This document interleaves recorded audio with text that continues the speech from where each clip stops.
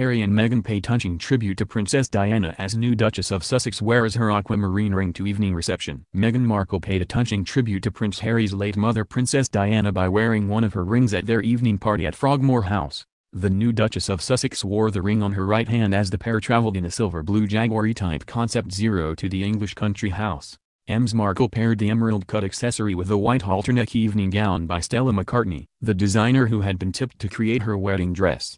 Princess Diana wrote a special letter of wishes in which she promised her jewelry to her sons with the intention of them sharing it with their future wives. According to The Sun, she wrote, I would like you to allocate all my jewelry to the share to be held by my sons, so that their wives may, in due course, have it or use it.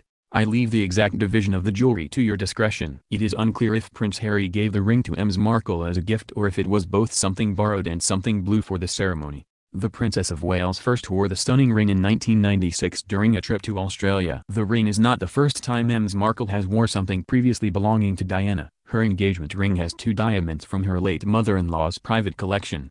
Ms. Markle's engagement ring includes one stone from Botswana, where the couple holidayed, and was personally designed by Prince Harry himself.